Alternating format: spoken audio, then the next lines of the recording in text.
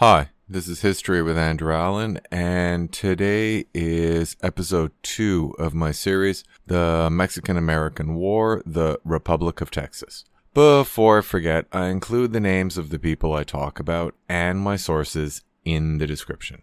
As I explained last episode, Mexico had struggled to control Texas due to raids by the powerful Comanche and filibuster expeditions by American adventurers, so it had allowed Stephen Austin to establish a colony in 1823.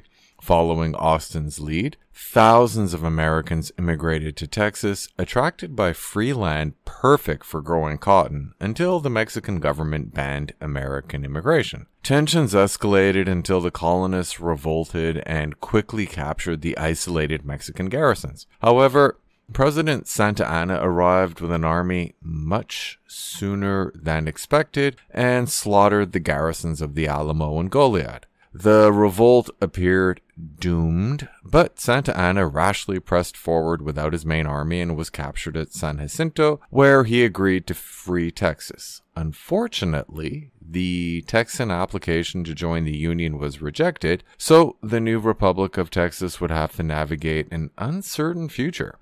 After winning the first presidential election by a landslide, Sam Houston became president of the Republic of Texas on October 22, 1836. Recognizing that the new republic was still fragile, Houston attempted to unite the various factions by including his rivals in the new cabinet. Mirabeau Lamar was made his vice president, and Stephen Austin became Secretary of State. Honestly, Texas faced major challenges. The army of volunteers was restless, treaties were needed to make peace with the various tribes, and peace with Mexico needed to be settled. Also, the government was weighed down by massive debts. Unable to acquire foreign loans, the Texan government taxed imported goods, which simply increased smuggling. Unable to enforce customs duties, the government tried to tax property, but again was unable to actually enforce collection. Having failed to bring in any form of revenue, the government simply printed money, so its currency rapidly devalued. Unable to pay its staff, the government basically could not function. In particular, it could not process land claims, which was crucial if it wanted to attract immigrants to buy land. Despite the celebration of victory, independence was dangerous since the new nation no longer had the Mexican army to protect against Indian raids. And there were raids, since Mexico had given the colonists land claimed by local tribes, especially the Comanche, who were based near the northern part of Texas. Fortunately, the Comanche were also tired of endless fighting and accepted a temporary peace. Unfortunately, Houston was succeeded as president by the dashing and extremely aggressive Mirabeau Lamar on December 1st, 1838, and he immediately broke with Houston's policy of peace with the tribes. At least, foreign relations proceeded more smoothly. French merchants wanted access to Texan markets, while French spinners wanted Texan cotton, so France recognized Texas in 1839. However, relations with Britain proved more complex. Many older Texans had fought in the War of 1812, so they initially resisted British attempts to create a closer relationship, but the growing conflict with Mexico made Britain more attractive, especially since the United States appeared uninterested in annexation. Although France and the Netherlands had recognized Texas, they both refused to loan the new nation any money. So, President Lamar simply printed more money, causing the currency to devalue further. If cotton prices had continued to rise, the Texan economy would have prospered, but the Panic of 1837 eventually brought down the American cotton industry. Since three quarters of Texan cotton went to the United States, cotton prices began to fall in 1839. Making matters worse, Lamar had bankrupted the government by building a navy to raid Mexico, expanding the government, and then moving the capital to the western border, which was then called Austin, even though it was far from the settled areas. As I said, peace with the Comanche was possible, at least until their chiefs were taken hostage on March 19, 1840. Unsurprisingly, they attempted to escape, and the following shootout resulted in the deaths of 12 chiefs. The council house fight enraged all Comanche, sparking a series of bloody raids and reprisal raids. despite the growing conflict with the Comanche and the increasing possibility of another war with Mexico, most Americans only knew that Texas was no longer part of Mexico, so immigrants streamed across the border in search of land to grow cotton. Why did many Americans want to leave their homes? Well, the Panic of 1837 had bankrupted farmers across the nation, so the promise of cheap land in Texas was extremely attractive. Also, the legalization of slavery lured immigrants from the southern states. As a result, the population of Texas tripled between 1837 and 1840. The first presidential term was only two years, then the terms were three years. Houston returned to the presidency in December 1841 and immediately ended Lamar's warlike policy. Negotiations with the Comanche were difficult, since they understandably had trouble trusting the Texans after the Council House fight, but the more agricultural tribes were convinced to sign treaties. Still, the new republic's future was uncertain, which discouraged foreign investment, and the government's revenue was drained by the constant state of near war. Furthermore, the revolt had drawn many young men seeking adventure, and they spent much of their time drinking and gambling which did not foster economic stability. South Texas was lawless with Anglo and Mexican gangs roaming the region, raiding cattle and terrorizing small communities. To be fair, these were merely growing pains, but Texas grew too fast as streams of men who hoped for a opportunity or a fresh start poured over the border. Unfortunately, many of these men had left to escape debts or wives or problems with the law, so they were not interested in the hard work of building a new nation.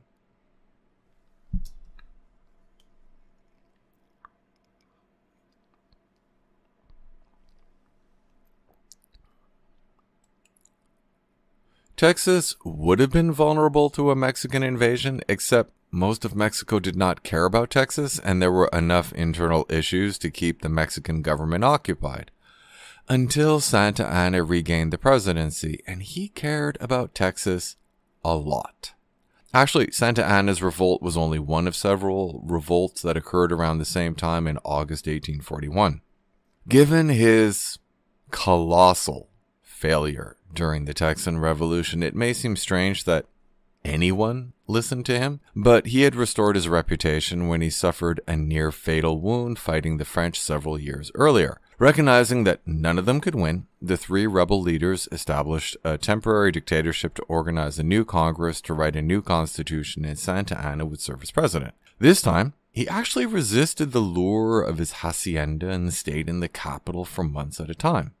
Santa Anna's government brought stability but lacked an effective tax collection system, so the nation went further into debt. The new electoral college system limited suffrage to men with sizable earnings, but it was still higher than the suffrage in Britain at the time.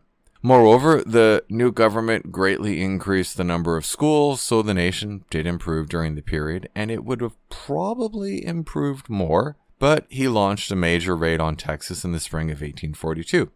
When a Mexican army occupied San Antonio for a couple of days in March 1842, it revealed two things. Mexico lacked the resources to feed and supply an army in remote Texas, and the Texan government lacked the resources to maintain an army that could defend the Republic. Concerned about future raids, Houston ordered each county to raise militia, but he also called for volunteers from the United States. Aware that the government could not pay them, he implied that they could loot. The recompense tendered to our friends will be the property captured by them and the soil that they conquer. The call was answered, and every steamboat from New Orleans brought armed volunteers. Overdependence on a single crop meant that Texas was vulnerable when powerful storms destroyed much of the cotton crop in the fall of 1842. The cotton that survived was hard to transport because the harsh weather had wrecked the Republic's already poor transportation network. The cotton bales that reached New Orleans sold for half of what they did in 1836 because the market had crashed. Even if farmers would have agreed to grow a different type of crop, they lacked the skills and the resources. Worse, a uh, Mexican army captured San Antonio on September 11th and held it for nine days before returning to Mexico. Since militia had gathered to repel what was mistakenly thought to be a full invasion, Houston faced huge pressure to invade Mexico in retaliation. In fact, Ed Burleson, a brigadier general in the regular army and Houston's vice president, was calling for volunteers to follow him into Mexico. Unwilling to see a rival gain credit, Houston gave command to Militia General Alexander Somervell and told him to make his own decision about whether or not to move south, thus avoiding any responsibility. Somervell was extremely indecisive and incompetent, but after several weeks of rain, the force of 700 militia and volunteers finally reached Laredo on December 8th. Since the town had been abandoned, Somervell announced that anyone who wanted to return home could, an offer that was accepted by nearly 200 men, mostly conscripted militia. The remainder crossed the Rio Grande, but by December 19th, Somervell and much of the army were fed up with the cold rain, so he decided to head back. Five captains refused, so Somervell led 189 men home. Captain William Fisher was chosen as commander of the remaining 300 men. Fisher planned to seize the town of Mier and ignored warnings from scouts that a Mexican force of 1,500 men was coming. Fisher rashly attacked on Christmas Day and was forced to surrender the following day. The prisoners were told to pick a bean from a jar where one tenth of the beans were black, and the 17 who chose black were executed. More died in prison before the survivors were released in September 1844. The executions and the mistreatment produced a fury among Texans rivaled only by the Alamo and Goliad. Britain promised to ensure Texan independence in exchange for a promise to end slavery, but never actually accomplished anything, even though it was the largest holder of Mexican debt, and Mexico nearly defaulted on its loans in 1842. Britain also refused France's offer to jointly pressure Mexico to acknowledge Texan independence.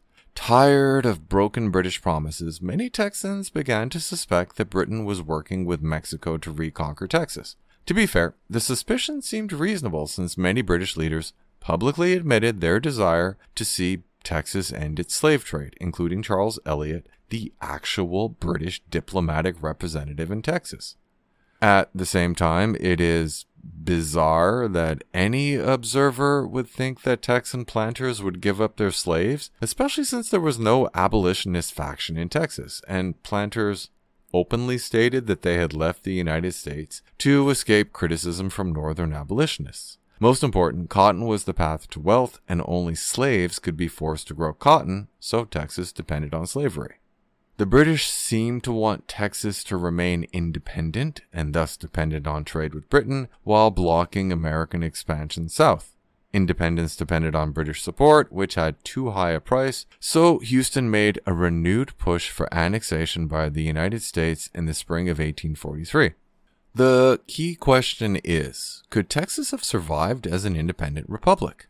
The population of Texas had boomed to nearly 200,000 people by 1846, although 45,000 were slaves. While the majority of immigrants naturally came from the United States, Houston had signed colonization contracts with immigration societies in England, Ireland, France, and the German states, which had paid off.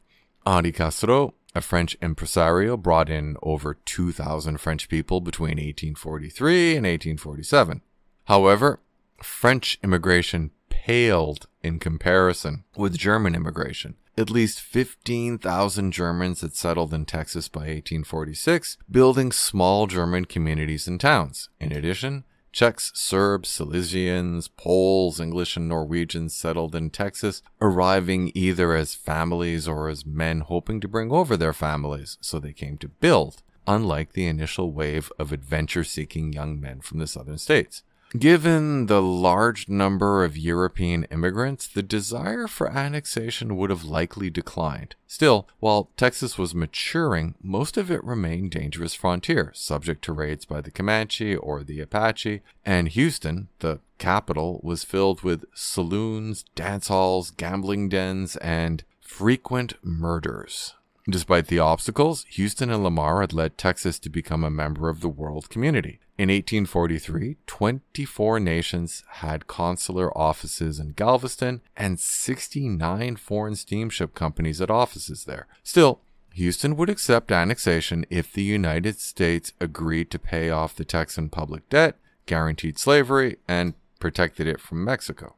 Meanwhile, although the border raids often favored Mexico, even Santa Anna had accepted that they could not reconquer Texas. Worse, even if Mexico did retake Texas, it would likely mean war with an expansionist United States.